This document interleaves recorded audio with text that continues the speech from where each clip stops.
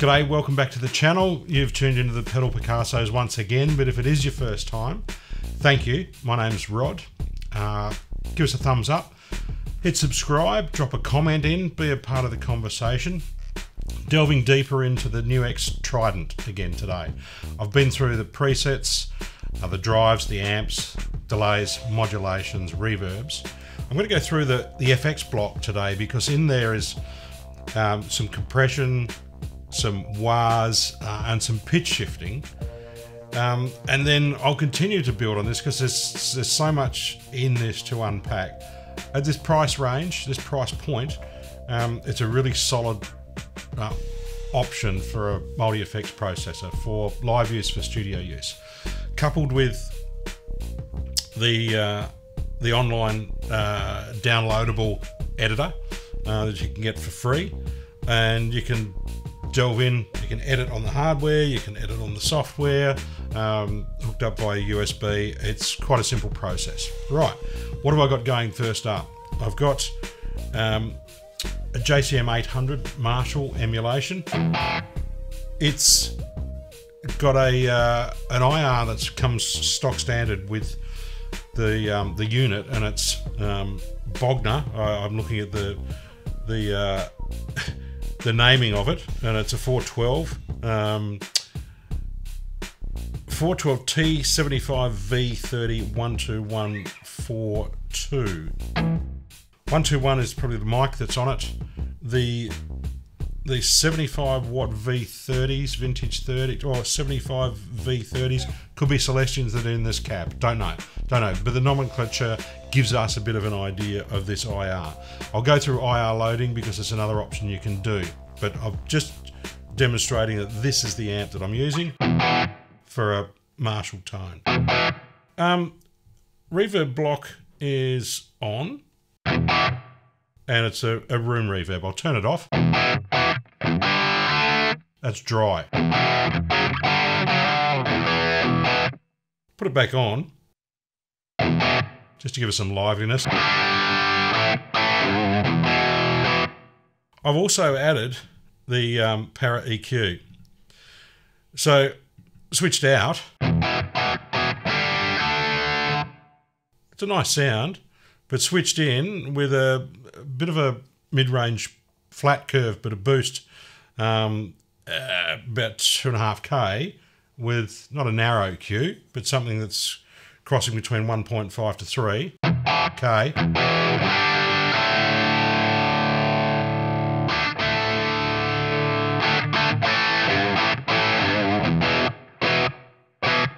Um, that's okay for me.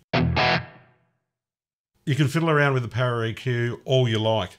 Um, you've got uh, four frequencies. You've got your um, high pass, low pass, low mids, and uh, high mids. You can adjust the Q and dial in a, a, a, um, a curve to suit. I just wanted to get that that uh, raspy honk of a 4x12 cab.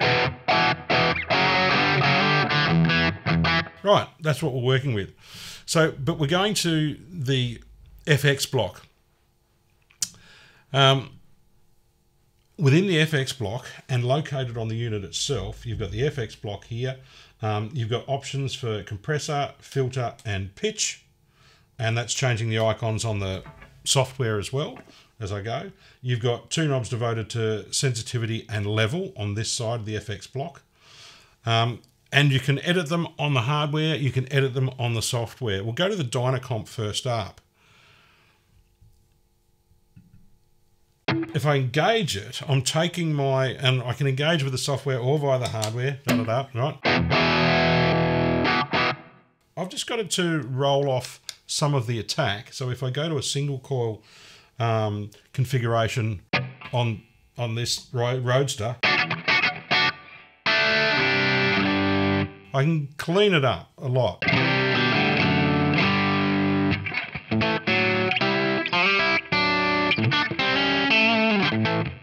That, that cleans up that tone nicely.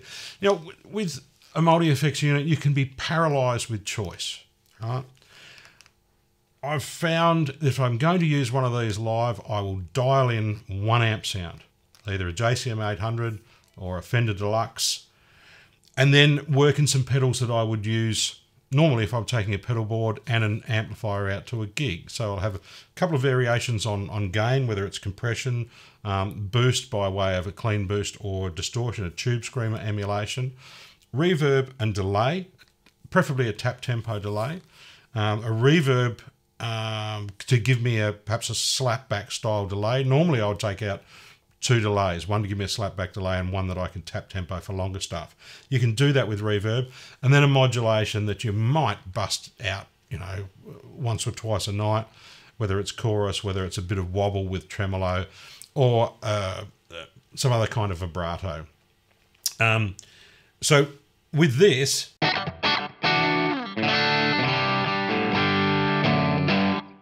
I'm just cleaning up that uh, Marshall 800.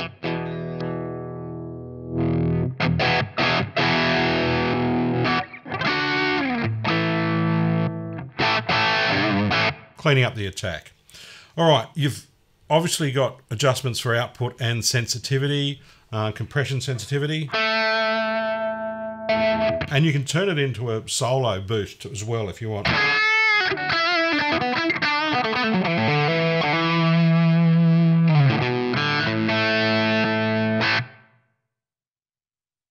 You can try out one of the other compressors. So, what other compressors have we got? I hear you ask. Glad you asked. We've got the Red Comp, we've got the K Comp, which is a Keeley compressor.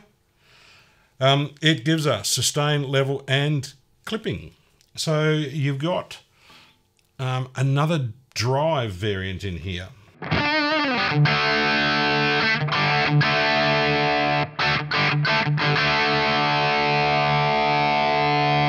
bring the clipping right up.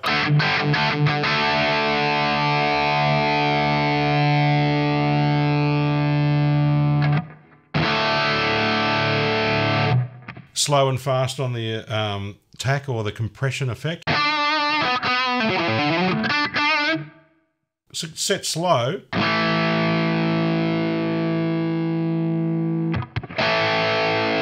With the sensitivity right up.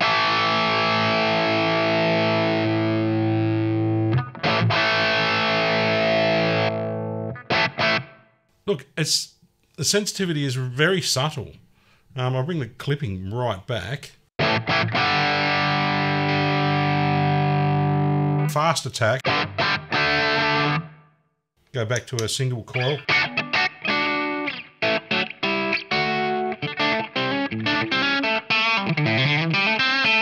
Very subtle in comparison to the um, the red comp.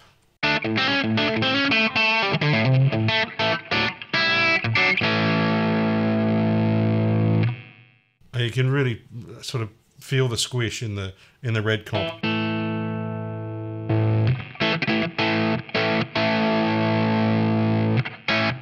And the way that uh, the note sort of blooms or is released. Studio comp, um, and you get a visual representation of what you're doing here. This is a good one to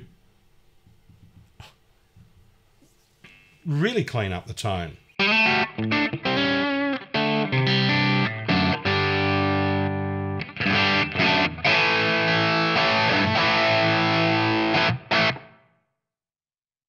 Even more so.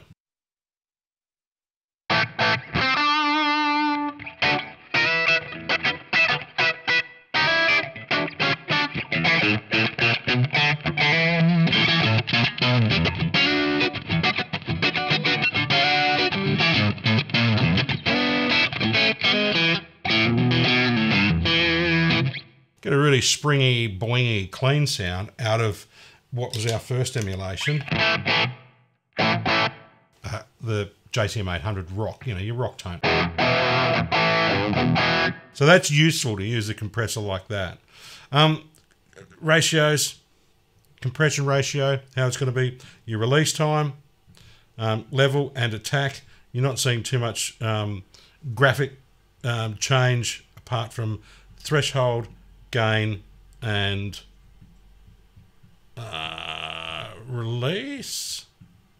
No, it was ratio, wasn't it? Yes, our ratio. All right, three different um, compressors. an envelope filter.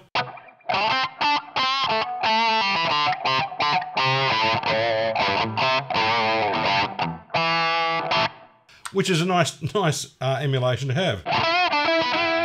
So if you want to set a particular frequency, do we get a switch on that? No, we don't. That's just uh, that's all for uh, just visual aid. And it seems pretty subtle. Parameters that we have. Ah, yes, we do have level controls. And we do have trim controls. Right.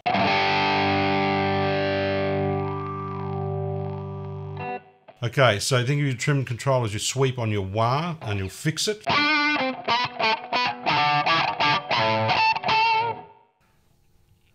Range.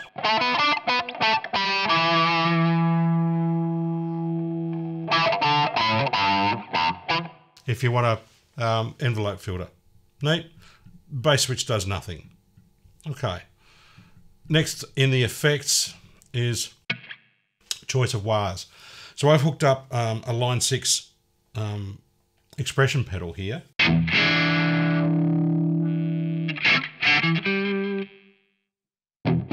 The Clyde is fairly subtle. Crybaby Wah is um, is quite quite good and sweepy. Now I haven't got my foot up on the bench here.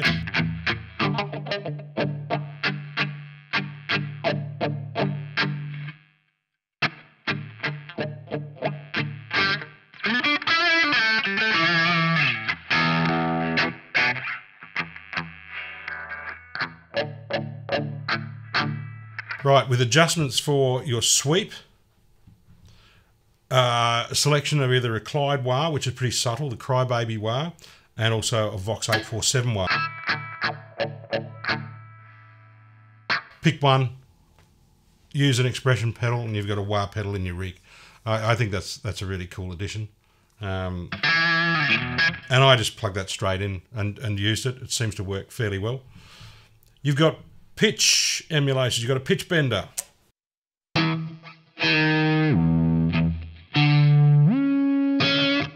Uh, graphic emulation of a whammy pedal.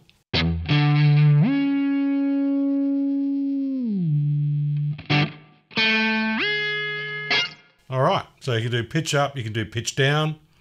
Um,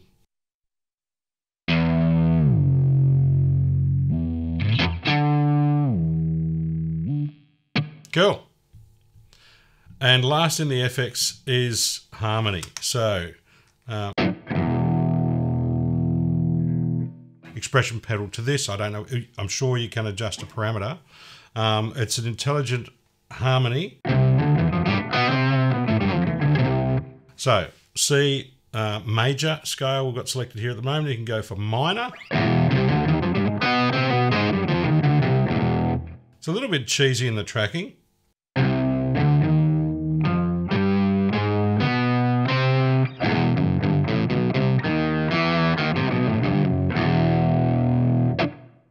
Working with C minor and E minor. Interesting. C major.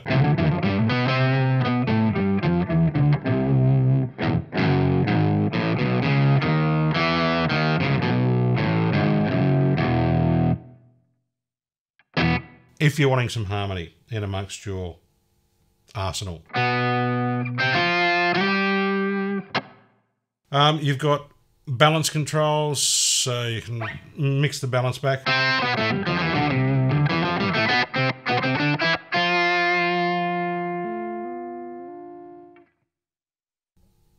Harmonies, uh, octaves below, thirds below, fifths below, um, thirds above.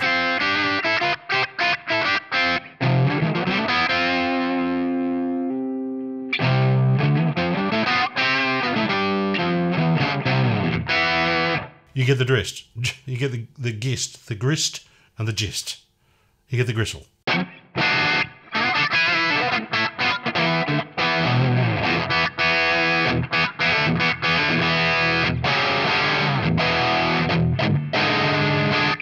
You get some insanity with that. All right, that's the effects block. Like the other blocks, uh, you can pick it up and move it around. You can move it anywhere. You can move it after your amp or have it back before your amp. Before or after your boosts. A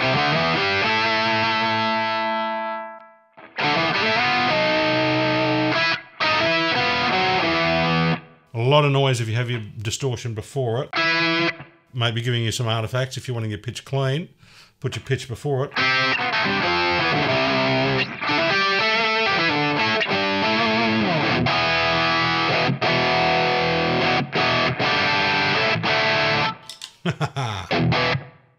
now, um, I will admit that I've had the, the tube screamer kicking this amp along. So there's my JCM 800. And I've had a tube screamer in there as well, just kicking that along a bit. But this has been about the FX block, and those are the effects that are in it. I can twist the select knob to give you an indication of which are available. Those two, we can go back to our comps, three comps, filters, uh, an envelope filter and selection of wahs.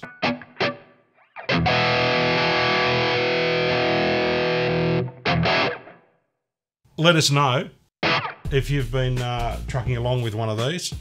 Um, I've still got some some detail to go into IR loading. Um, I'll create some patches for you just to see how simple it is and store them and recall them. Um, and we'll see see you next time. Yeah.